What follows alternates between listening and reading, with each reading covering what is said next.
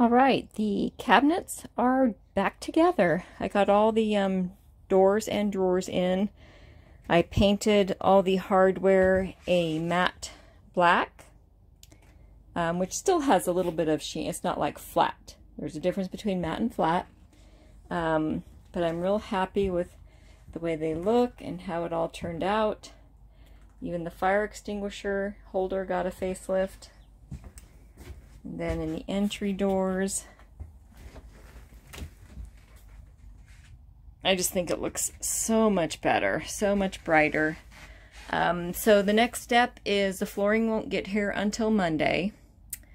So the next step is I'll probably be working on curtains and cushions. Um, I'm not going to put them in until we're done with all the renovations because we do have some roof repairs to do that, we already have a replacement for that.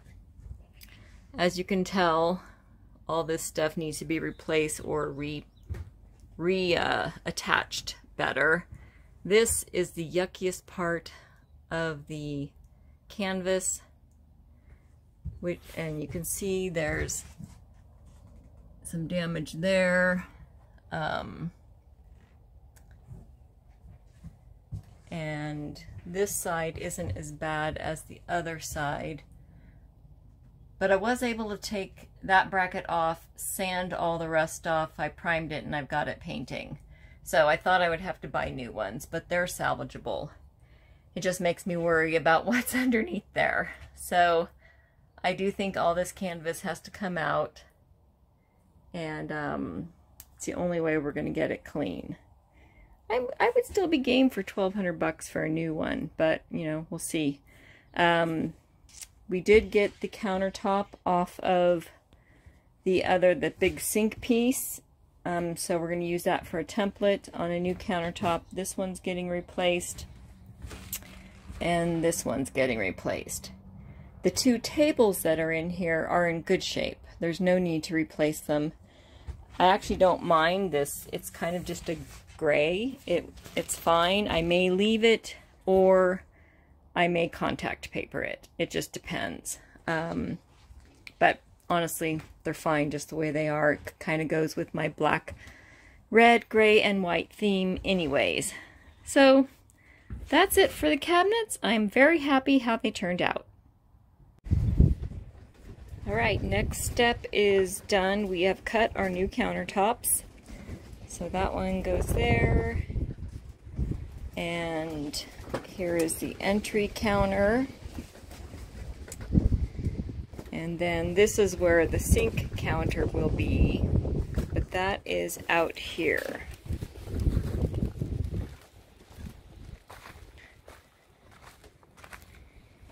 And there's the sink counter. We didn't cut the hole yet for the faucet because we might be changing faucets. We don't know, so we'll wait. So today or tomorrow morning, I will sand all these down, and then I've got a kind of a medium, um, medium to dark wood stain for that. That's a polycoat and stain in one. And I'm going to do both sides so um, they're equally treated. And I'm very excited to get these in place. Okay, we're about to get some work, uh, about to start some work on the camper. Here are the chickens. Hi, chicken. My tomato plants getting started. I'm going to put some zucchini in that one. Hi, Loretta. Loretta and Dottie and Dolly and Tammy and Patsy over there and Reba. And Baby Buff is broody, so she's being isolated. She's being a, you know what. Anyways, um, just to show you, we did get the countertops done. Um, very happy with how they turned out. They look beautiful. The entryway. They are installed now. And the little countertop next to the cooktop. We're not going to do the cooktop counter because it's in actually really good shape. I did um, refinish the hardware and I just cleaned it yesterday. Um, So those are the only countertops we're redoing. The dinette counter and the little table that goes over there if we want to use it is the same as this and it's kind of a you know a mottled gray so it's fine it'll go with with everything we have what we are going to undertake today is taking this canvas down. I guess we're just I I I don't know. We're gonna take it down.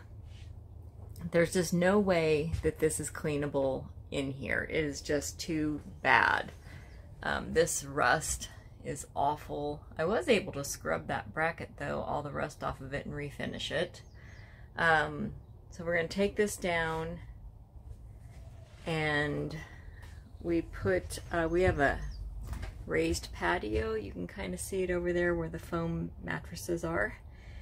We laid some chairs and, you know, made kind of a line and some uh, what do you call it, uh, sawhorses. We hope we have enough footage there diagonally and I'm gonna just hose it and clean it up there and hopefully we can get it done. Otherwise, a replacement is $1,200. I'd rather just get this one cleaned up. so I'm gonna give it a whirl and while we have this off, my husband's gonna work on fixing the roof. We've got stuff to fix there. Um, this is all apart. Well, that whole strip is going to be replaced. And then um, we've got a new vent already, so that's going to be replaced. And then we're just going to make sure the top of the trailer, the camper, is watertight. That is the big goal and um, and we've got new trim pieces and everything to put on it. So that's it for right now. Okay, we are getting the canvas out and we figured out um, you have to take all the little screws. There weren't that many. There were just a few up here off. And then there are six exterior screws that are kind of at each corner and each by the door. And then it's just on a track system. You can see it up here. And there's a track system down here. So we just slid this side off. And basically you're just going to go in a circle. And then we're going to slide this end off. And just keep going around the camper until it all comes off. It's like uh, a little more than I thought it would be. But um, we also think we're going to need to replace all this track system because it's pretty old and it's cracked in a lot of places. And we know we have water damage on this corner because this was the countertop that was just disintegrated. Um, and up here, you know, that wood's kind of bad. So, I don't know. Once we get all this canvas off, we will be able to tell what we need to replace. All right, the entire canvas is off. Um, so I've got it up here on our patio, draped over chairs and stuff. I'm not quite sure how this is going to work, although the dogs think this is a big fort. Um, I'm going to work on the outside first since it's pretty much vinyl on the outside. And I'm just using a bucket of soapy water and um, just mild dishwasher detergent. I looked for woolite, but I couldn't find any. So we're just going with this. Um, and my husband is working on taking off all the trim that was on the inside because it all has to be replaced. Um, it was, it was pretty cracked. And of course we found lots of damage, but oh well, here we go.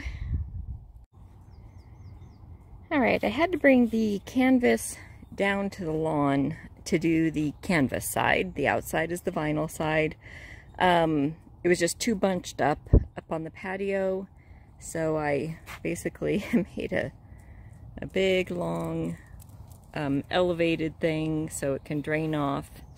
Sawhorses in the middle, chairs at the end where the where the uh, bed areas are.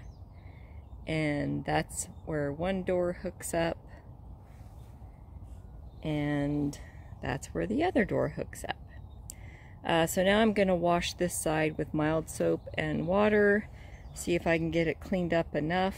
um, then we'll probably spot treat those rust stains. Um, but I'd like to just use soap and water if I can get away with it. Anyways, here goes round two for cleaning the canvas.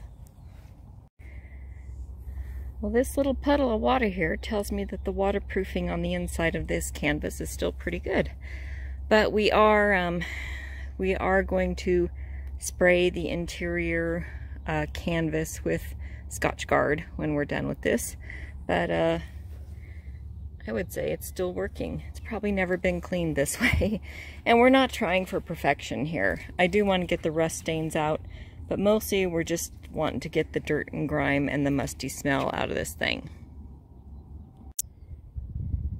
Alright, I am done cleaning this beast. Um, we did end up using some of this Starbright Fabric Clean and of course I used a soft bristle um, tire brush.